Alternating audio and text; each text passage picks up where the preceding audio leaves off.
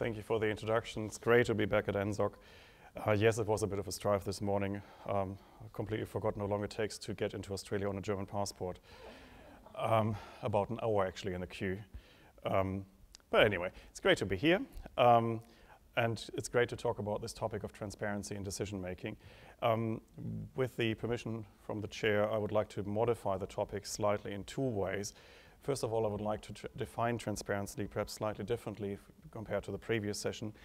Um, obviously, transparency can mean many different things. Um, it could mean, for example, that um, some things can never be fully transparent, uh, no matter how much we wish for transparency in government services, because some areas of uh, government policy simply don't open themselves to that. I mean, you think of intelligence services and the police and secret services and the like, but also um, commercial and sensitive um, uh, information or even trade negotiations as we're currently seeing with the TPP. So some areas of government policy will probably never be as transparent as we would like them to be, and that's just the nature of the things.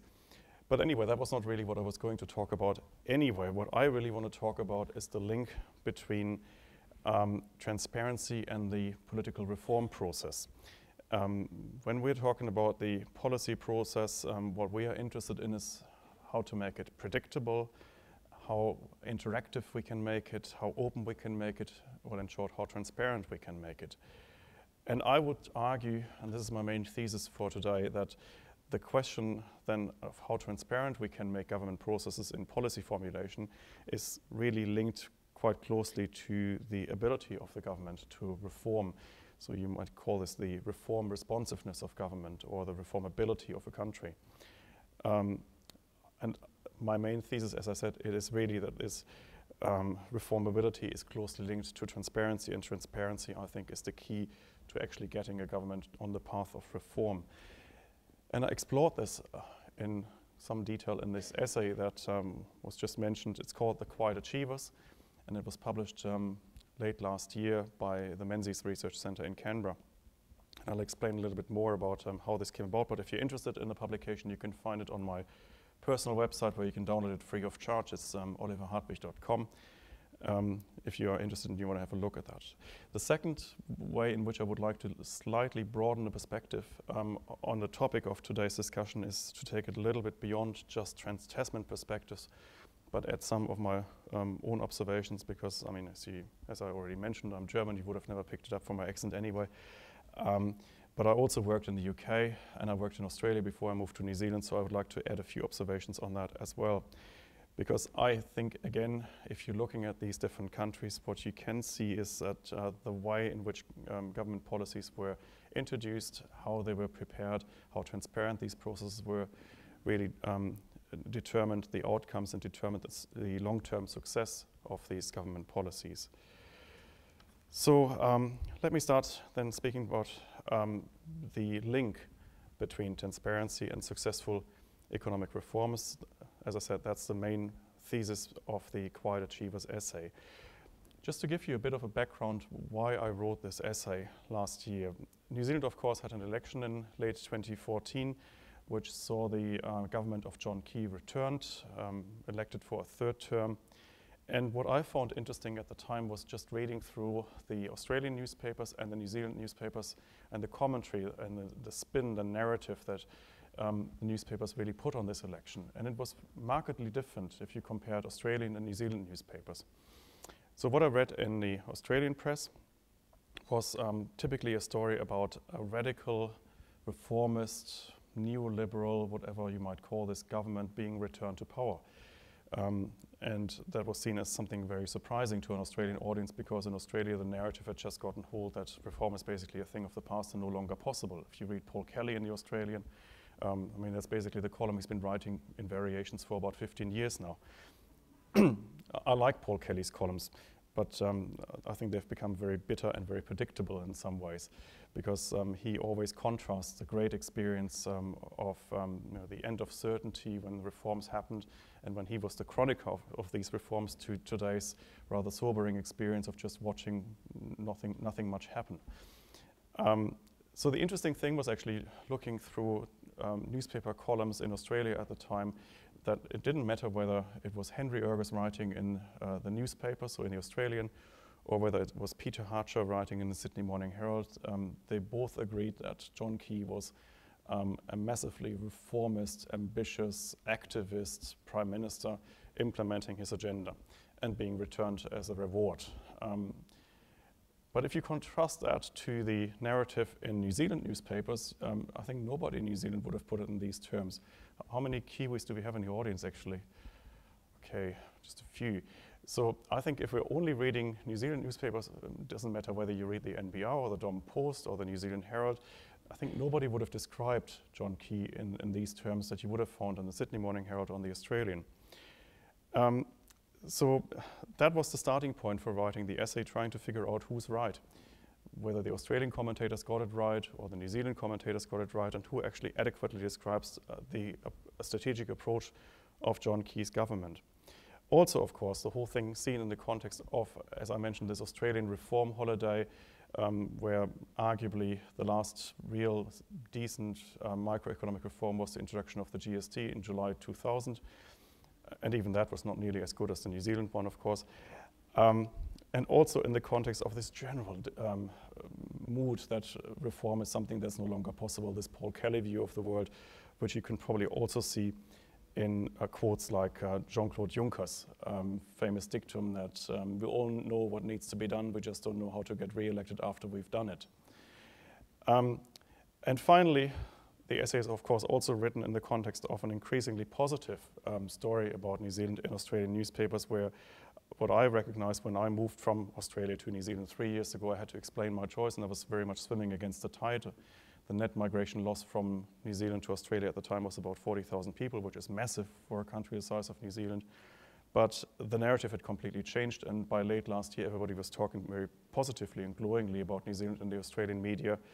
Um, and they were um, discussing how it could be that a country that had not just lived through the GFC as Australia had, but didn't have a mining boom, but instead had to battle with the results of a few earthquakes, um, was still closer to a budget surplus at the time than Australia was. So that was really the trigger behind writing this um, essay and trying to figure out um, who was right and whether the Key government was actually a reformist government or whether it was really just as um, hopeless and dithering, as Rodney Hide writes in the National Business Review.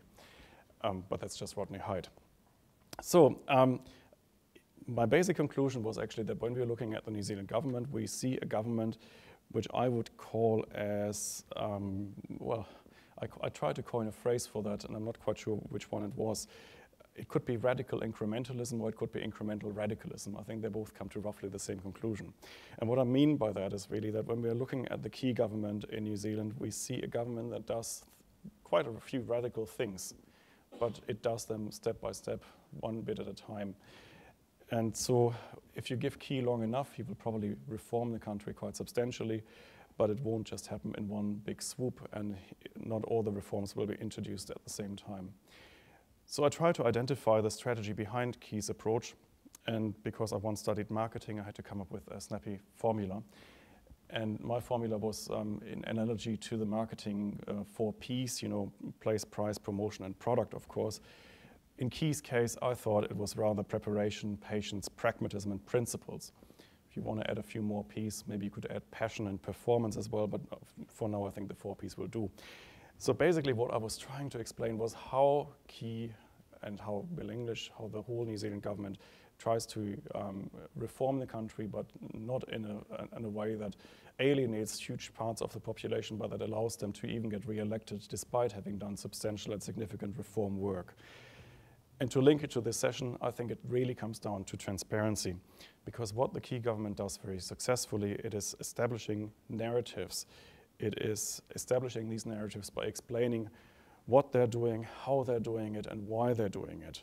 They're consulting, they're taking time. So let me just talk you through the four P's. The first key, P in the context of Key's government, I think, is preparation. Preparation means that it takes a lot of time before anything really happens. But that preparation time is necessary to build the narrative, to take the public along the journey and explain really why what they're doing is necessary. For those of you who heard um, Paula Bennett this morning, I missed her, but I've heard her so many times now, so I can kind of figure out what she probably said. She would have told you about how long it took until the government actually figured out what they were trying to achieve and how they were going to do it. Paula Bennett, of course, is the best example, perhaps, of um, this um, preparation approach because she spent um, full first term really preparing, laying the ground for the welfare reforms that the Key government then introduced in the second term. So basically, three years spent preparing with the welfare um, working group, um, consulting very widely. Closely linked to this um, preparation P is the patience P. I think it is a mistake for governments, especially newly elected governments, to try to do everything at once and introduce all policies in just one single budget, as Tony Abbott, of course, tried um, last year. Um, Key wouldn't do that. Key actually has the time and takes a very long-term approach to introducing his policies. I think that requires a lot of patience, but it's the patience that's required to do the preparation properly and to consult widely. And he consults widely, um, not just with um, special bodies like the um, Welfare Reform Working Group, but also with organizations like the Productivity Commission, which in the New Zealand context is still a relatively new organization that was only introduced in Key's first term. With that um, comes a lot of pragmatism. I think um, no matter how much uh, Peter Hartcher describes uh, John Key as a, a neoliberal activist, I think deep down he's a pragmatist. And first and foremost, is a pragmatist because he, he knows exactly what he can um, get implemented and what he can find majorities for. He wouldn't go too far beyond that. And he would never really wait for the opportunity to introduce a first best solution, which might never arise, uh, arrive, um, if he could at least get a second or sometimes a third best solution and, and then start um, or work on refining these uh, second and third best solutions.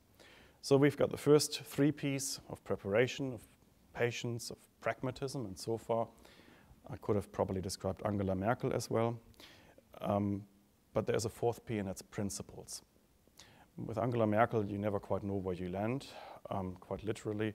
Uh, former Social Democrat um, defense minister in Merkel's first cabinet put it quite nicely when he said, um, if Angela Merkel was a pilot, you could safely board a, a, flight with her, safe in the knowledge that you would arrive safely as long as you don't care where you land because um, Merkel basically makes up her policies um, on the go, on the fly. Um, she commissioned 600 opinion polls in her second term, which um, Spiegel magazine revealed last year, so on average about three a week.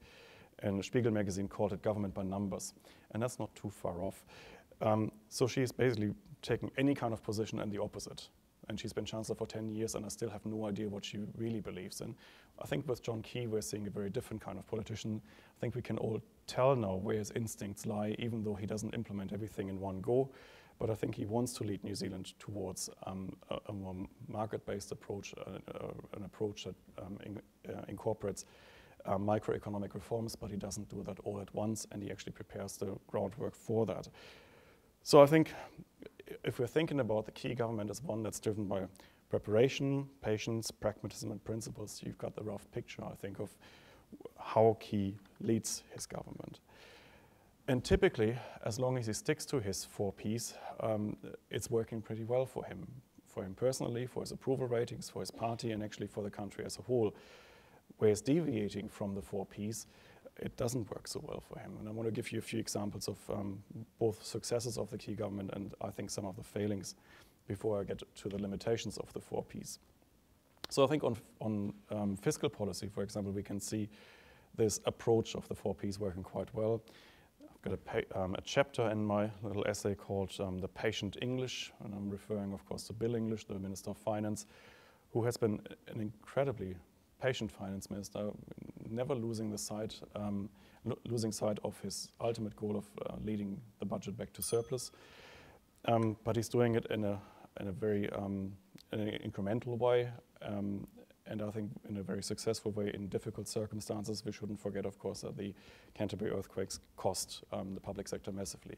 The second example where I think reform has really worked um, remarkably well is Paula Bennett's welfare reforms, and you heard her this morning, the investment approach that she pioneered, I think that has worked extremely well. The counter examples where the Key government has actually failed to deliver um, were those examples where they really didn't spend enough time preparing and where they didn't have the patience to really um, explain what they were doing.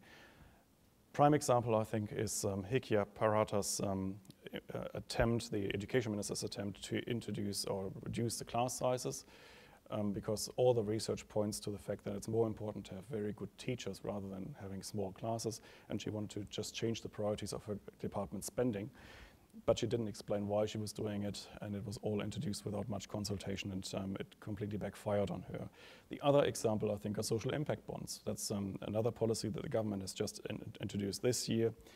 It was launched um, at the Queen's birthday uh, holiday weekend, and bizarrely, the government picked mental health as the area for the first social bond. Now, for a relatively experimental policy, I think this was not quite the right way to, to go about it. They should have first explained why they're doing it. Very few people had ever heard of social impact bonds.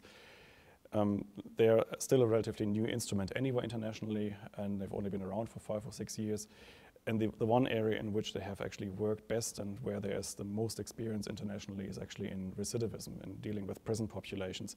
So I think the government could have done a much better job at just explaining what they're trying to achieve, pointing towards international um, examples, and actually taking the public on board with this uh, for this new policy instrument of social impact bonds when in fact they went straight into mental health, which is one of the most controversial areas, and therefore I think it backfired on them. The other limitation to the 4P approach and to radical increment incrementalism, I think, is public opinion. So John Key is very well aware of public opinion, probably as well aware as Angela Merkel is. And therefore, there are some issues that he simply wouldn't touch, and he wouldn't even try to prepare the public for changes, even if they're necessary. I'm thinking of, uh, for example, foreign direct investment regulation. I think of some radical changes to local government finance and the housing market that's, I think, where um, Key is probably too timid to really go beyond um, what is achievable even in the medium term. Um, I think in the session brief we talked a little bit about the role of the media, and I would just like to say that I don't really see a big difference between the media because you don't have that many um, columnists, journalists really making the case for reforms in New Zealand either. So I think we often see, unfortunately, a very um, stereotypical left versus right debate in New Zealand when in fact we should just be debating what works and what doesn't, and we should have a more empirical debate. Um, but in any case, to lead it back to the question of transparency, I think um, what we can learn from Key's example is the important importance of transparency, because if you communicate your policies well, if you really establish your narrative, you've got a much better chance not just of implementing them, but actually of having long-lived policies where they wouldn't just be changed at the next government and not just at the next um, opinion pool. So Key, I think, is doing a relatively good job as prime minister. Um, he's not a perfect prime minister by any um, measure. He's certainly not a perfect politician, and I don't believe that um, perfect prime ministers or perfect politicians exist in any case. But he gets a lot of done, a lot of things done, while still keeping his personal popularity and uh, retaining the public support. Now, if I just want to briefly mention some international examples, counter examples of what happens when you don't do that. One of the prime examples that comes to my mind is actually the German Schröder government. Schröder, Gerhard Schröder, um, led a um, center-left coalition of the Social Democrats and the Greens, and under the impression of 5 million unemployment in the winter of 2002-3 in Germany, he introduced massive welfare reforms, but they were not nearly as radical as um, the kind of stuff that Paula Bennett does in New Zealand. The difference between Paula Bennett and Gerhard Schröder was that Schröder did spend, didn't spend any time whatsoever explaining why he was doing it. I mean, all he basically said, well, look, we've got 5 million unemployed, we have to do something. But he didn't establish a narrative around it. He didn't really establish a narrative of we have to help people. That's what Paula Bennett did. But he basically said we've got a national crisis, a national emergency, and we need to do something quickly. Well, he was punished for that. He was punished um, personally, his approval ratings went down, his party was punished, and they've never recovered from it. So when Schröder first became chancellor, the Social Democrats were typically just around the 40% mark. They have been in the ghetto of around 23 to 25% since. So the party is still suffering the um, consequences of Schröder's um, welfare reforms, which were undoubtedly necessary, but never communicated well. Another example, I think, is David Cameron in the UK because David Cameron, um, in opposition, hardly ever talked about the issues he then had to tackle as prime minister. He hated talking about Europe. I know that because I worked in David Cameron's favorite think tank, and we were not allowed uh, to use the E word because it was so divisive for the Tory party. Um, Cameron never wanted to talk about it. It was traumatic for his own party. He knew precisely what happened to his predecessors, so he didn't really spend any time on, on, it in opposition. He didn't talk about austerity. He didn't talk about alternatives to labor spending programs. And then suddenly in 2010 he was prime minister and he had to. Under the pressure from his own backbench, under the pressure of UKIP, under the pressure of circumstances, he suddenly had to talk about Europe and he suddenly had to do something about the economy and the budget deficit. But that's of course not how to win public, uh, win public support. And yes, he won the election um, just a few months ago. But if you really dig through the election result in the UK in 2015, you can actually see that Cameron's result is quite meager, and there's never been a government re-elected on such a slim sh popular share of the vote as Cameron's government. So I think Cameron hasn't done that particularly well introducing these reforms. And finally, I think looking at Australia, um, um, I, I, don't think I'm stretching it too far when I say that uh, Tony Abbott probably didn't quite communicate what he was trying to do too well, um, and he certainly didn't take the public with him. Um, but I think I'll leave it here because I don't want to impinge too much on your presentation. But just in contrast, in New Zealand, I think we're really seeing a government that is trying to be as transparent as it gets um, in trying to explain their case for reform, trying to take the public with them, because I think that is the, the only chance we have in today's society to introduce reforms that are necessary, which some commentators believe are no longer possible, and where, at least in the Australian case, in your newspapers here, I have found a certain defeatism around even the R word. You shouldn't even mention it anymore, according to Kristina Keneally. Um, so New Zealand, I think, should encourage us all that reforms are still possible. But I think what New Zealand also demonstrates quite nicely is that reforms need a good marketing plan and a good strategy and a good narrative. And that's basically the, my thesis of Quiet Achievers, and I'm happy to discuss that with you later. Thank you.